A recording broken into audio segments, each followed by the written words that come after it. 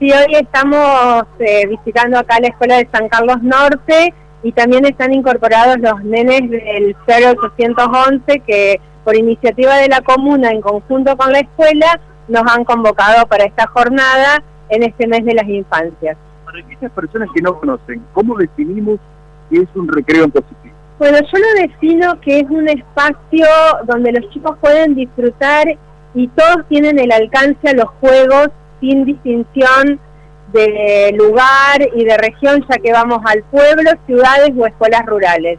Es el disfrute del juego por el juego en sí mismo, que los chicos tengan esa posibilidad de disfrutar.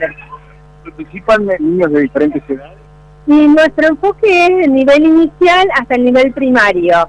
Eh, según la cantidad de alumnos y el entorno, se dividen por grupos. En este caso, por ejemplo, ahora están solamente los de cuarto y quinto, junto con los de las escuelas rurales, y después también están los de sexto y séptimo y a la tarde los que vienen en el nivel inicial y hasta tercer grado.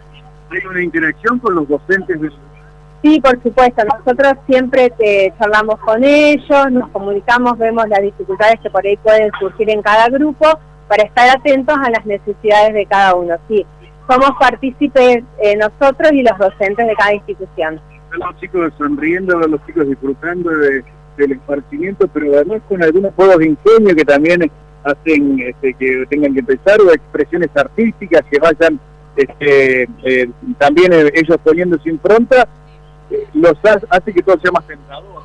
Sí, lo que tratamos de hacer es que haya muchas propuestas. Están los peloteros para los chicos que por ahí son más activos y les gusta saltar y demás. Después tenemos tenis, ping-pong, shenga, eh, bueno, una parte de dibujo donde ellos también pueden expresar, los ladrillitos que aunque por ahí crean los chicos que no juegan más, porque en la casa no los tienen más, van y se sientan y juegan hasta los más grandes. Así que hay una diversidad de, oportunidades para el disfrutar. Andrea, ¿qué es lo que sucede con aquellas escuelas que aún no conocen la iniciativa y quieran inscribir?